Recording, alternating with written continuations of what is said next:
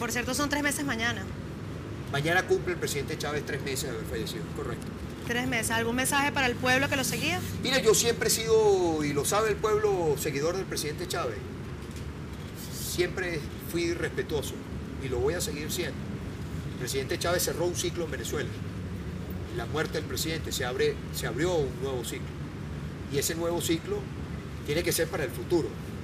No puede ser para esto que tenemos ahora. Este es un cartel gobernando el país. Tiene que ser para, eh, para el progreso de los venezolanos, para el futuro de nuestra Venezuela, de este, de este país hermoso que tenemos, muy golpeado, pero un país hermoso, lleno de potencial, que es el que tenemos nosotros que sacar a flote, que salga lo bueno de Venezuela eh, adelante y que los venezolanos podamos entendernos, tener diálogo y que estos que están allí, que todos los días roban la corrupción para quitarle al pueblo venezolano, queden atrás y que Venezuela tenga ese amanecer que, que- que queremos, estoy seguro, la inmensa mayoría.